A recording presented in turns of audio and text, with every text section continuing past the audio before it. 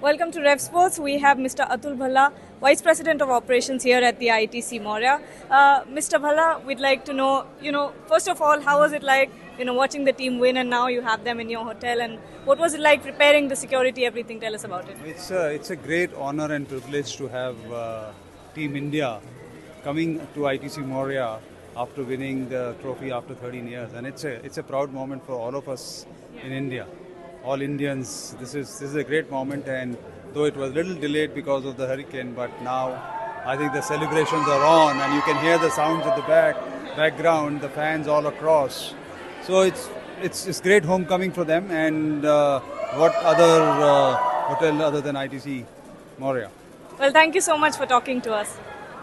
So we have with us Sudhir Kumar Gautam, who was part of that Indian flight. He was part of that Indian flight that took took off from Barbados to new Delhi Sudhir पूरा experience बताइए, क्योंकि पूरा team के साथ आप भी travel किया from Barbados to new Delhi तो कैसा रहा वो एक्सपीरियंस नहीं, मुझे सचिन सर की बदौलत आज हम टीम इंडिया को चेयर करने के लिए अमेरिका गए, जब अमेरिका मैच खत्म हो गए टी ट्वेंटी के लीग मैचेस सुपर एट की मैच वेस्ट इंडीज में हुई।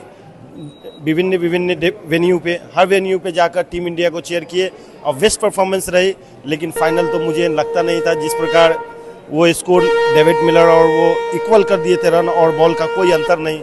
लेकिन हमारे बुमराह जी, जसप्रीत बुमराह की कमाल गेंदबाजी और जितने भी हमारे पेसर बॉलर बॉलर है, बहुत अच्छी गेंदबाजी की और हमारी टीम इंडिया ने जीती। लेकिन जीत का एकमात्र लक्ष्य सूर्य कुमार यादव जी को अहम भूमिका निभाई, जो ना अनबिलीव कैच पकड़कर डेविड मिलर को पवेलियन लौटाए और टीम इंडिया के खेमे में खुशी की लहर दौड़ी। और 2007 की जीत टीम इंडिया की रिपीट खास ये बताइए कि कैसा रहा वो एक्सपीरियंस टीम इंडिया के साथ एक ही फ़्लाइट में सफ़र कर?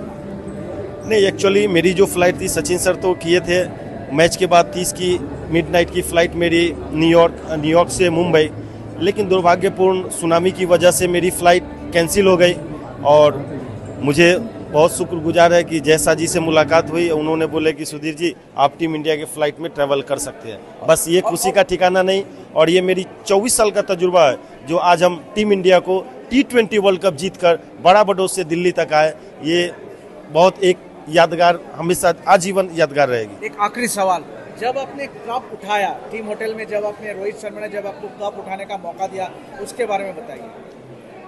रोहित शर्मा जी जब कप उठाए, वो मैंने देखा कि वो धरती में झंडा गाड़े और वहाँ की मिट्टी उन्होंने खाई।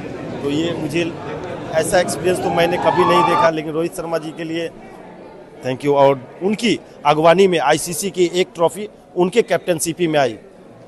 That was Sudhir Gautam for red